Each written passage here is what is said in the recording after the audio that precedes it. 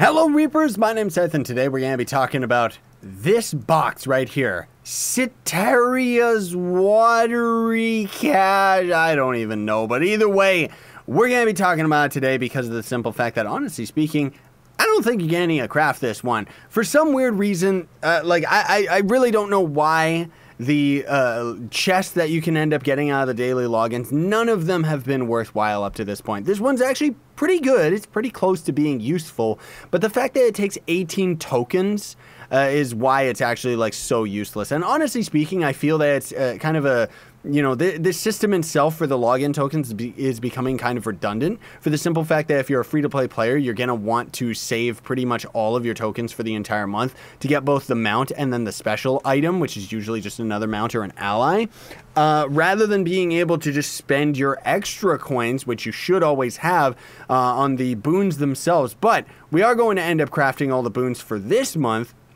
outside of the fact that uh, you know if you're a player that's at the beginning of the game maybe it's actually worthwhile to get these things. I personally don't think so because what this is going to be is when you end up actually crafting one of these bad boys you're going to be able to loot collect it afterwards right? And it's going to give you five Citaria's watery treasure urns which is going to end up giving you uh, an empowered water gem like just out of it no matter what. So you're to get five guaranteed radiant or stellar empowered water gems, which I mean, honestly speaking, that could end up being pretty useful if you're just starting out.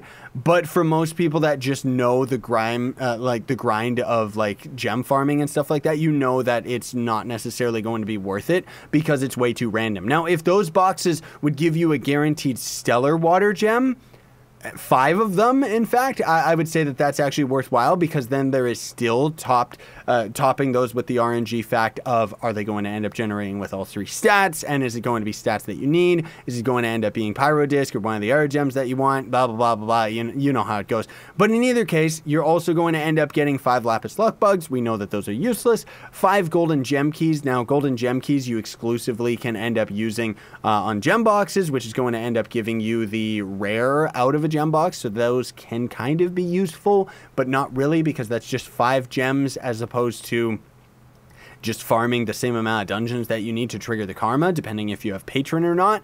Which uh, you know, in that regard, they are still useful. But the fact that it's 18 tokens—that's that's the big reason why this is just a big no-no. Because otherwise, this actually would be a very useful box outside of the fact that it costs too much. Like you should be able to craft two of these a month, honestly speaking. Uh, and then otherwise you get one builder superior focus. Again, they really love to think that those items are extremely worthwhile. But there is another double factor to consider here, folks, is the builder's focus is not going to be nearly as valuable because when the Trove Heroes update, they're going to end up cutting the price of the flux on all of the focus items like uh, an insane amount. Like these gold focus items actually do become quite worthwhile after the Trove Heroes update ends up hitting.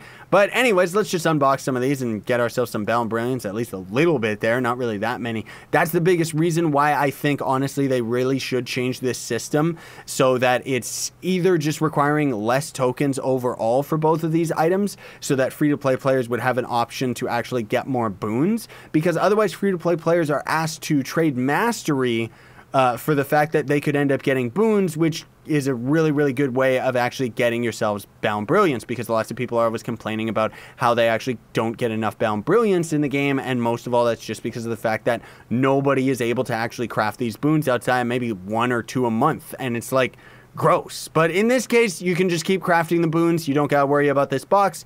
Maybe that's intentional. I don't really think so though. But either way, it still is cool that it's there, but it's not really required. You can just skip it and honestly, you'll get a lot further with the Bound Brilliance. Anyways, thanks for watching though, folks. Just wanted to do a quick video letting you know about that so that you can skip it. Just start crafting all the boons right now.